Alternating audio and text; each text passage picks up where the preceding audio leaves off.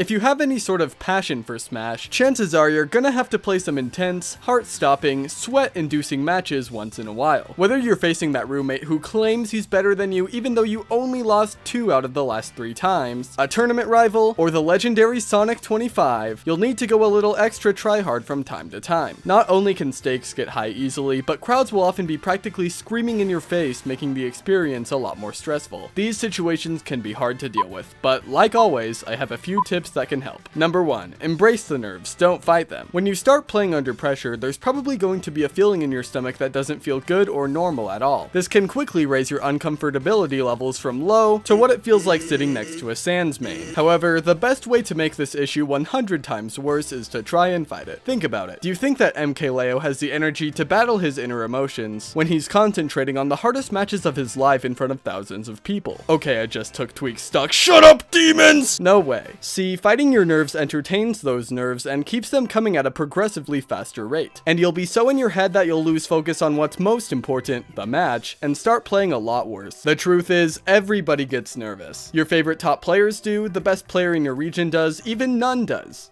I think. Why should you have the privilege of being able to stop your nerves immediately because you told yourself, don't be nervous? Just own it. You're not weird for getting butterflies in your stomach. It'd be weird if you didn't. I personally enjoy the feeling of adrenaline as it hypes me up to try and perform at my absolute best. Sometimes before a match, I'll stand in a private room just feeling my heightened emotions to get used to them and be ready to play. Now, some of you might not be at the point where you enjoy these weird feelings yet, but I can assure that you will grow to at least deal with them as long as you choose to embrace the nerves. Before we get to tip number two, I'd like to take the time to thank today's sponsor, Raid Shadow Legends. Playing under pressure can be hard, and sometimes you'll just need a good RPG like Raid to relax and unwind. It's one of the most ambitious mobile games of 2019, with an immersive storyline, beautiful 3D graphics, PvP battles, and hundreds of champions to collect and customize. Best part is, it's all free. Almost 10 million players worldwide have downloaded the game in the last 6 months, and for good reason. It genuinely feels like a AAA title. You can customize your champions with different artifacts to make them your own. And see these graphics? They're flippin' beautiful. Who cares about my opinion though? Maybe 300,000 reviews on the Play Store and a near perfect score might convince you. The game is growing, and the highly anticipated new Faction Wars feature is now available. There's also a new program where you can get rewards for your first 90 days logging in. You can even find me in the game under the nick Banana Boy SSB. So what are you waiting for? Go to the video description, click on the special links, and you'll get 50,000 silver and a free epic champion as part of the new player program to start your journey. Good luck, and I'll see you there. Okay, we're back. Number two, be confident in yourself as a person and a player. Now I'm aware that be confident by itself is some hot garbage, just girly things advice, since it provides no direct steps for getting to that point. Inner confidence is hard to achieve, no matter what anybody tells you. It requires you to constantly prove to yourself that you're a person worthy of whatever good things do or can happen to you. I'm not gonna pretend that I'm a perfectly confident alpha chad who takes up half the room, exhaling testosterone and farting cologne, but I do think I'm pretty decent at feeling at least a little better about myself when I've been feeling like crap for a while.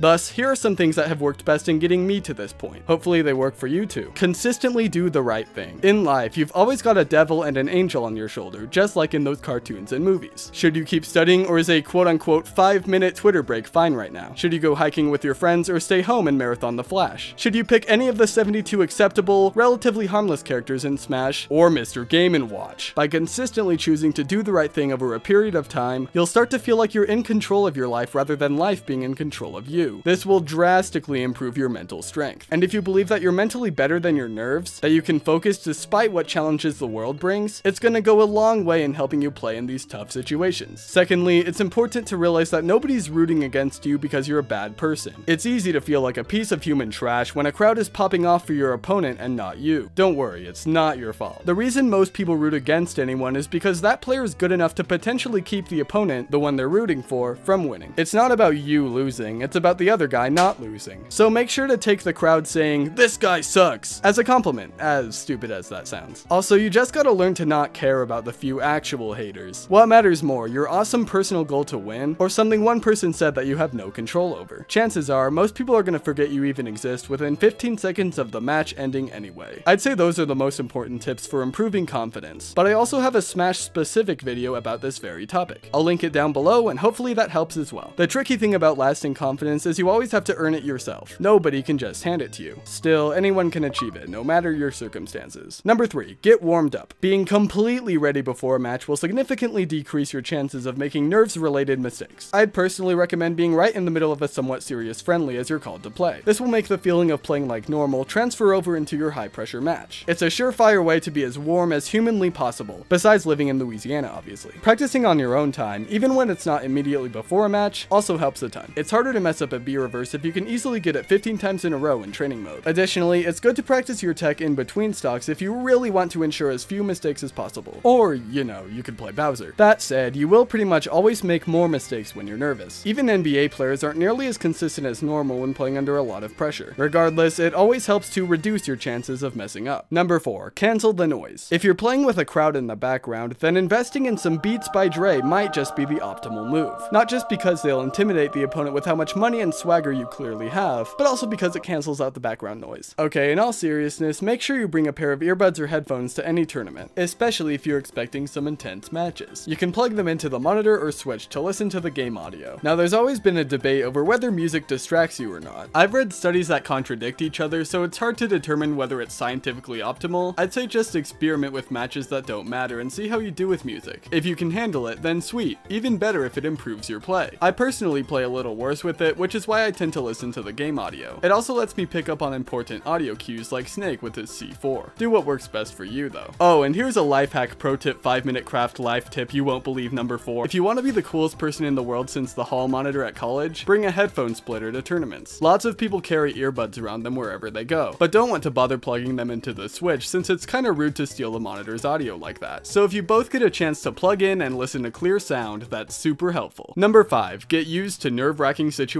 One of the best ways to deal with pressure is to simply be exposed to it enough times to the point where it's not a big deal anymore. Sure, the nerves will likely never go away, but you'll be so good at dealing with them that they won't even matter. There are multiple ways to deliberately practice under pressure. I definitely recommend money matches whenever possible. Even if you don't want to put cash on the line, you can still do something else like loser has to drink a cup of hot sauce. Those are always super fun. But oftentimes in life, money matches just won't be available. You can't do it if you're not at a tournament or around smashers. And when you're at a tourney, many people just won't want to money match you. Maybe because you're too good or play an annoying character. Don't worry, there are plenty of other ways to get better at dealing with pressure. The one I most recommend is meditating. Meditation is essentially an accurate simulation of playing with a crowd. It requires you to shut down your thoughts and replace them with focus on the present. This is directly comparable to playing with an audience and tuning them out to focus on the game. So yeah, you can learn more about that kind of thing by watching this. Besides that, working out can help a ton, since you're literally fighting against pressure. You can have push-up contests with your friends and something on the line, take a hard test in school, watch My Little Pony with a door open when your parents are already about to disown you. You don't necessarily have to play Smash to get used to stressful situations. And that's it. I feel like I'm saying that too much, but I mean it is it. You're probably never gonna get over your nerves entirely, but by applying these tips, you can definitely develop the useful skill of dealing with them. Thanks for watching. Don't forget to download Raid Shadow Legends, subscribe to Mr. Beast. Okay, bye.